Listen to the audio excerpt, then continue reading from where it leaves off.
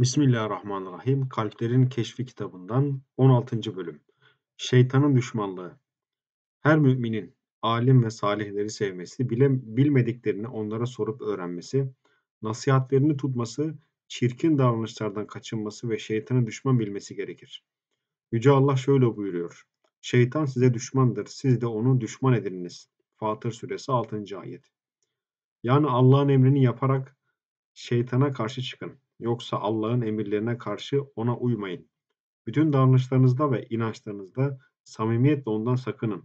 Yaptığınız her işte şuurlu olun. Çünkü şeytanın sizin amellerinize gösteriş sokması, çirkin davranışlarını gözünüze süslemesi her zaman mümkündür.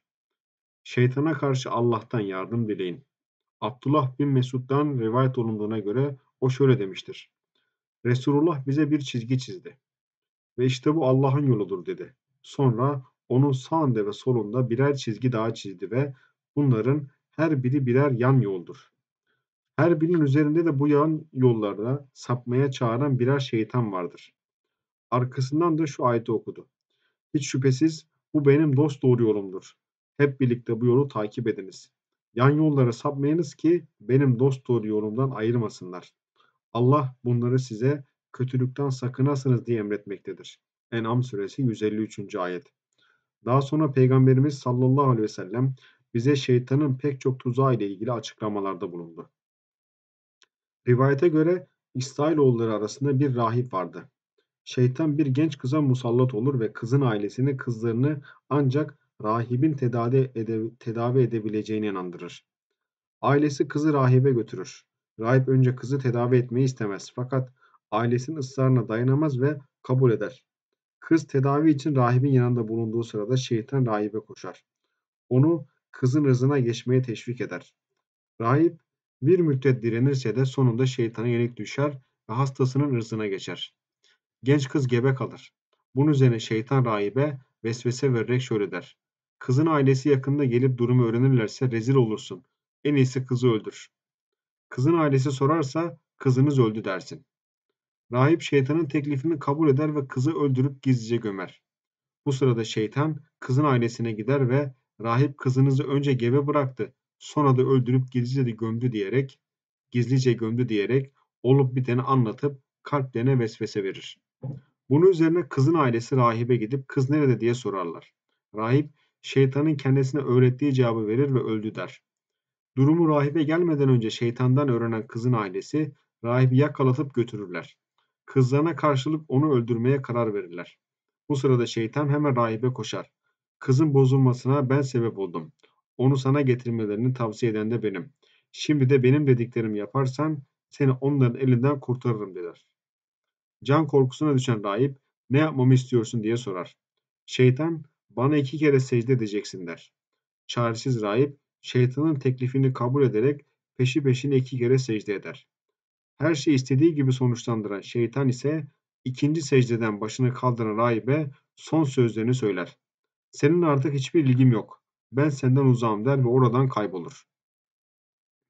Allah bu kıssada verilen mesajı teyiden şöyle buyurur. Yahudileri savaşa kışkırtan münafıkların sözleri tıpkı şeytanın tutumu gibidir. Hani şeytan insana inkar et demiş de insan inkar edince ben senden uzağım. Çünkü ben alemlerin Rabbinden korkarım demişti. Haşr suresi 16. ayet. Rivayete göre şeytan bir gün İmam Şafii'ye sorar. Ey imam! Beni dilediği gibi yaratan ve dilediği yolda kullanan, sonra da dilerse cennete koyacak, dilerse cehenneme gönderecek olan Allah hakkında ne düşünüyorsun?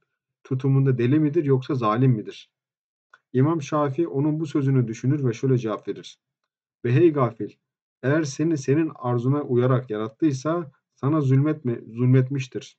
Yok eğer kendi isteğine binaen yarattıysa o yaptığından mesul değildir. Şeytan aldığı cevabın karşısında neredeyse yerin dibine geçecek şekilde perişan oldu. Fakat çok geçmeden kendisini toparlayarak Şafi'ye ey imam ben bu soruyla 70 bin abidin beynini bulandırarak onları kulluk divanından çıkardım dedi. Bilesin ki kalp bir kale gibidir. Şeytan da oraya girip onu kuşatmak, fethetmek isteyen bir düşmandır. Kaleyi düşmana karşı savunmak için onun kapılarında, giriş yerlerinde ve girilebilecek her yerinde nöbetçi bulunması gerekir. Bu nöbetlik ve muhafızlık görevini kaleyi iyi şekilde tanımayanlar başaramazlar. Kalbi şeytanın vesveselerine karşı korumak gereklidir. Bu görev her mükellefin üstlendiği farz-ı aynıdır. Gerekli olan bir neticeye kendisi olmaksızın ulaşılması vasıtada gereklidir. Şeytanın sızma yollarını bilmeksizin kalbi ona karşı savunma boşunadır. Demek oluyor ki şeytanın kalbe sızma yollarını bilmek her Müslümana farzdır. Şeytanın kaleye benzetilen kalbe girmek için kullandığı yollar ve sızma yerleri kulun bir kısım sıfatları olup bunlar çoktur. Onlardan bazıları şunlardır. 1. Öfke ve şehvet. Öfke, aklı ürkütüp kaçıran canavara benzer. Akıl zayıfladığında şeytan ordusu hücum eder. İnsan ne zaman öfkelenirse çocuğun topla oynadığı gibi şeytan onunla oynar. Anlatıldığına göre Allah dostlarından biri şeytana Ademoğlu nasıl yendiğini bana söyle demiş. Şeytan da ona öfke ve azgın istekleri kabardığı zaman onu ele geçiririm diye cevap vermiştir. 2. Kıskançlık ve ihtiras. Kul bir şeye karşı ihtiras bağlayınca hırsı gözünü kör, kulağını sağır eder. İş böyle olduğunda şeytana aradığı fırsat verilmiş olur. Aslında kötü ve çirkin de olsa insanı arzu ve isteğine vardıran her vasıta hırslının gözüne güzel görünür. Rivayet olunduğuna göre Hz. Nuh Aleyhisselam Allah'ın emrine uyarak her canlı türünden birer çift alarak gemiye bindiğinde tanımadığı bir ihtiyarın geminin bir köşesine gizlendiğini görür. Ona gemiye niçin girdin diye sorduğunda ihtiyar adamların kalplerine sızmak için girdim. Böylece kalpleri benim elimde olurken senin yanında sadece cesetleri kalacak diye cevap verir. Bu cevap üzerine Nuh Aleyhisselam ihtiyarın kimliğini teşhir eder ve defol buradan ey Allah düşmanı. Sen lanetli şeytandan başkası değilsin diyerek onu kovmak ister. Bu sırada şeytan Nuh'a ben insanların beş şeyle helak olmasına sebep olurum. Şimdi bunlardan üçünü sana anlatacağım. Fakat geri kalan ikisini söylemem der. O anda Yüce Allah Nuh Aleyhisselam'a sana ikisini söylesin.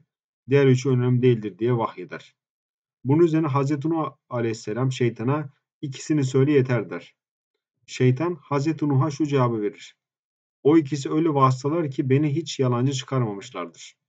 Hiçbir zaman beni hedefimden geri bırakmamışlardır. İnsanları bunlar sayesinde yenerim. Bu ikisi ihtiras ve kıskançlıktır. Kıskançlık yüzünden ben kendim Allah'ın katından lanetlenerek kovuldum. İhtirasa gelince bir ağacın meyvesi dışında cennetteki her şey Adem'e helal kılınmıştı. İhtirasını güçlendirerek onu yasak ağacın meyvesinden yemeye ikna ettim. 3. Oburluk Yenen yemek helal olsun, oburluk şehveti güçlendirir. Bu da şeytanın şeytanıdır. Rivayete göre şeytan bir gün Hazreti Yahya'ya görünür. Elinde çeşitli maddelerden yapılmış bir yular tomarı vardır. Hazreti Yahya elindeki bu yularlar nedir? Şeytana sormuş ve şeytan bunlar insanları yakalamaya yarayan çeşitli arzulardır demiştir. Hazreti Yahya işlerinden bana ait olan yular var mıdır diye sorunca şeytan galiba bir keresinde karnını çok doyurmuştun da seni böylelikle namazdan ve zikirden engellemiştim cevabını verir. Bunun üzerine Hazreti Yahya bir daha karnımı tıka basa doyurmamak üzerime vacip olsun der. Şeytan da Hazreti Yahya'ya andolsun ki bundan sonra hiçbir Müslümana nasihat etmeyeceğim diye karşılık verir. 4. Elbise, ev ve mobilyada süs düşkünlüğü. Şeytan insanın kalbinde süse düşkünlük olduğunu gördüğünde bu yoldan tohum atar ve tohumların yumurtlamasını sağlar. Şeytan böyle şeylere karşı zaafı olan kimseyi durmadan yeni yüksek evler, apartmanlar, saraylar yapmaya teşvik eder. Yapılan evleri daha çok süslemeyle meşgul eder. Giyeceklerde israfı teşvik eder. Binek hayvanları son model ve pahalılarını almak için vesvese verir. Zaten bu yolda şeytan insanı bir defa kandırdıktan sonra ikincide onu elde etmek gerekmez. Çünkü bu zaafların biri diğerini çeker. Kulun ömrü doluncaya kadar bu yolda devam eder, devam eder. Sonra günün birinde şeytanın yolunda ve doyumsuz arzuların peşindeyken ölü verir. Böyle kimseler gibi olmaktan Rabbimiz hepimizi muhafaza etsin. Amin. 5. İnsanlara umut bağlamak. Safvan bin Selim'den rivayet olunduğuna göre bir gün Abdullah bin Hanzala'ya şeytan görünür ve şöyle der. Ey Hanzala, sana bir şey öğreteyim mi? İbni Hanzala ihtiyacım yok deyince şeytan bir dinle de bak. Eğer yararlıysa kabul eder, yararlı değilse reddedersin der. Ey İbn Hanzala! Allah'tan başka kimselere kesinlikle umut bağlayarak bir şey isteme. Kızdığında ne hale düştüğünü gör. Çünkü öfkelendiğin zaman seni kolaylıkla elde ederim. İstediğimi yaptırırım. 6. Acelecilik ve sabahsızlık. Peygamberimiz sallallahu aleyhi ve sellem acelecilik şeytandan, ağır davranmak ise Allah'tandır buyurmuştur. Çünkü insan aceleye kapılınca şeytan ona hiç beklemediği taraftan kötülüğü benimsetir. Rivayete göre Hz. İsa doğduğunda yanındakiler hemen şeytana koşup derler ki yeryüzündeki bütün putların başı eğildi. Şeytan onlara olan oldu. Sizin, siz yerinizde bekleyin deyip yeryüzünü dolaşmaya başlar. Putların boyun eğmesine sebep olan olayı öğrenemez. Sonunda Hazreti İsa'nın doğduğunu tespit eder. Çevresini bütün meleklerini kuşattığını görür. Bunun üzerine hemen yandaşlarının yanına gider. Dün gece dünyaya bir peygamber geldi. Bu çocuk hariç hiçbir doğum ve gebelik olmamıştır ki ben yanında olmayayım. Bu geceden sonra artık putlara tapılmaz. Bundan ümidinizi kesiniz. Bundan sonra Adem oğullarına acele etmeleriyle ve densizlik yoluyla girmeye çalışın. 7. Para ve mal düşkünlüğü. Yiyecek ve içecek ile diğer gerekli ihtiyaçların ötesinde kalan bütün varlık, hayvanat, şeytanın kaynağıdır. Sabit el-Bünani şöyle demiştir. Peygamberimize sallallahu aleyhi ve sellem risalet görevi verildiğinde şeytan ordusuna şöyle dedi. Bir şey oldu ve bunun ne olduğunu gidin öğrenin der. Şeytanın adamları her yeri dolaşıp araştırırlar fakat ne olduğunu öğrenemeden elleri boş dönerler. Bunun üzerine iblis ben size şimdi haber getiririm diyerek kaybolur. Bir müddet sonra çıka gelir ve adamlarına Allah Hz. Muhammed'i peygamber olarak görevlendirmiştir sallallahu aleyhi ve sellem der. Bundan sonra şeytan adamlarını sahabilere musallat etmeye başlar. Fakat hepsi her seferinde elleri boş ve hayal kırıklığı içinde dönerler ve şöyle derlerdi. Hayatımızda bir gün bile böyle acılarla karşılaşmadık. Tam yaklaştığımızda namaz kılıyorlar. Böylece bütün çabalarımız ve çal çalışmamız boşa çıkıyor. Bu konuşmaları dinleyen iblis adamlarına yönelerek şöyle der. Onları bir süre kendi halleriyle baş başa bırakın. Umulur ki Allah onlara dünya kapılarını açar. O vakit biz de onlardan istediklerimizi alırız.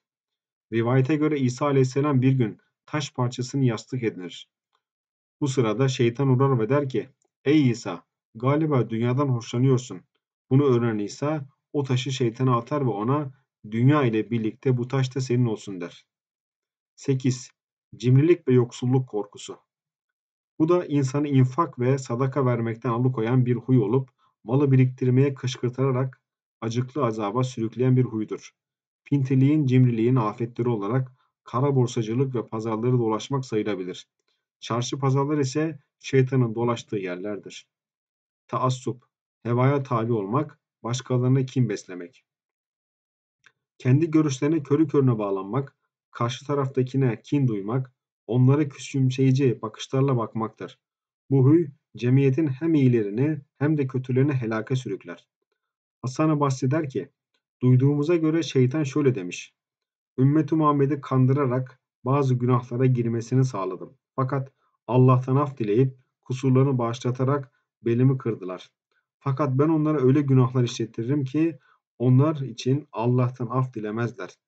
Bunlar boş istek ve heveslerin peşine düşerek burunların doğrultusunda gitmeye dayanır. Lanetli şeytan doğru söyledi. Zira böyle insanlar saplantı ve taassupları yüzünden günahlara sürüklendiğini bilmezler ki tevbe edebilsinler. 10. Müslümanlara suizanda bulunmak. Kötüleri itham etmekten bile kaçınmak gerekir. Herkesin kusurlarını, hatalarını görerek onun bunun hakkında, onun bunun hakkında kötü düşünceler ileri süren kimse gördün mü bilmelisin ki onun içi pistir ve kendi içinin çirkinliği dışına sızmaktadır. Böyle olunca insan şeytanın içeri girmesini önlemek için kalbinin bütün kapılarını kapatıp suizandan kaçınmalıdır. Buna karşın Allah'ı zikretmelidir.